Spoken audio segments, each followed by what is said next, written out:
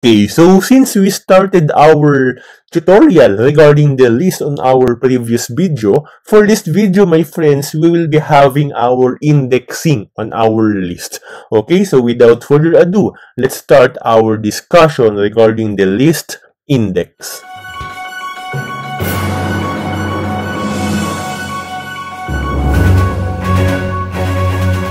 Okay, so for this video, we will be having our discussion regarding how we can assess items inside our Python list that we have created.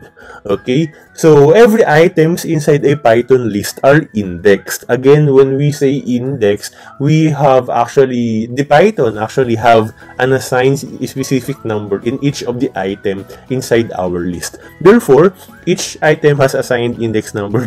I just repeat it actually.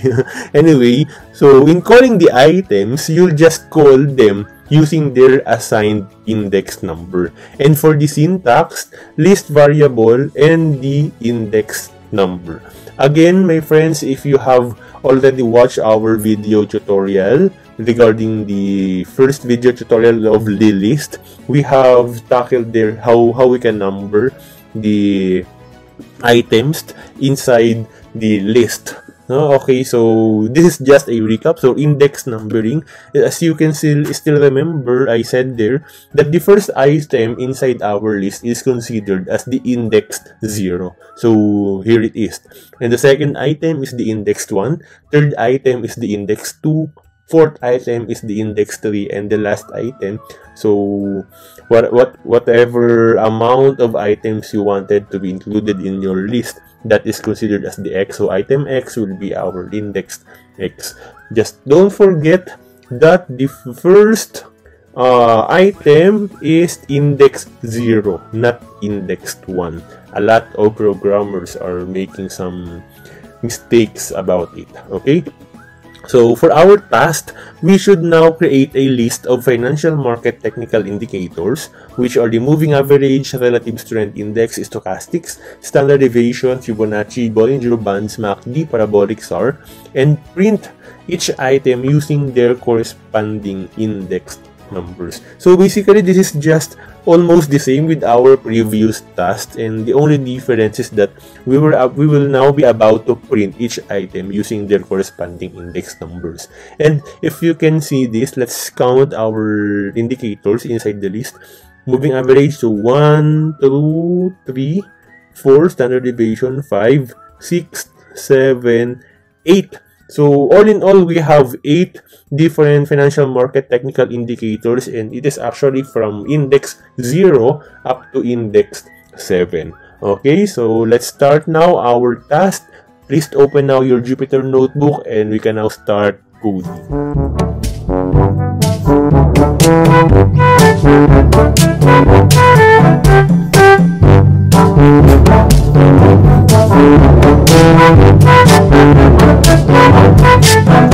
Okay, we are now here on our uh, Jupyter notebook. So let's have first our title. So list index space here. Don't forget the space. In having a title, by the way, just a tip, my friends, it must be double hashtag at the very beginning. Okay, so mark down and run. Okay, so for the list uh, index, actually, this is just the same, our list before. So, the only difference is that we will trying to call uh, them one by one by using their uh, index number assigned. So, in having our calling regarding the index number, we should have used here a square bracket based on our syntax. Okay, so if you forget the syntax, here's the syntax. Let's go back to our syntax. So as you can see, list variable, which is this is equals to the to the uh, technical indicator. So list variable. Then as you can see here, we have here the square bracket. Okay, so technical indicators, then square bracket.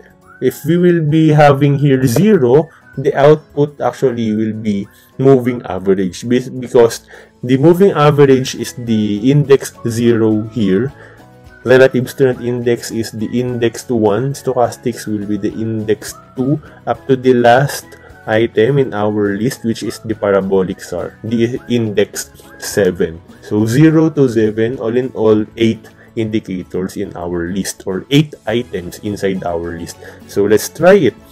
So let's run. Answer is moving average. Okay, so let's try to call them one by one. 1, 2, 3, 4, 5, 6, 7, 8. Total of 8. So 0, 1, 2, 3, 4, 5, 6, and 7. So the output should be moving average on the first row. On the second row, the relative strength index. Third row, stochastics.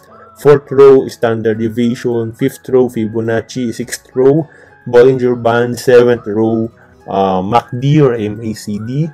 And the last row and the eighth row, the parabolic SAR. Okay, so let's try to run it. I hope we are correct. anyway, so let's click run. Or again, for the uh, technique on running using just your keyboard. For Mac users, it is Shift plus return. And for Windows users, it is Shift plus enter. Okay, so let's run. And we have now our output. Moving average, relative strength index, stochastic, standard deviation, Fibonacci, Bollinger Bands, MACD, parabolic SAR, and we are correct. That's how list indexing works, my friends. Don't forget that because we will be uh, using that idea and that technique of calling out an item inside the list on our next video tutorial on have higher level of using the list okay? So i hope you learned something from this video tutorial. But we have actually here a question my friends. What if we don't know how many items are there in the list? And we want to print out the last item only. Because actually here we count we count how many our technical indicators included in the list. We count moving average up to the parabolic SAR and I said before that the total is 8. That's why I come up with, a, with an idea that we can now call index 0 up to index 7 because the only total is 8. But what if there's a lot of items inside our list that is what this uh, question is addressing. What if we don't know how many items are there in the list and we wanted to print out the last item only? So if that is the case, what should we do? Actually, the answer for that question, for that problem, for that specific scenario is the usage of the negative indexing. And negative indexing will be our next topic. Okay? and I hope you learned something from this list index. This is actually a positive list index. Our next uh, topic will be all about negative indexing. If you learned something from this video, don't forget to like, share, and comment below. And of course, to subscribe to this channel for more related contents. For our community, you can join our community in the video description below. There's the link for our Facebook group, Facebook page. Okay? So, this is the Engineer Trader, my friends, your partner from learning to earning. And as always, May your trades be great. Bye-bye.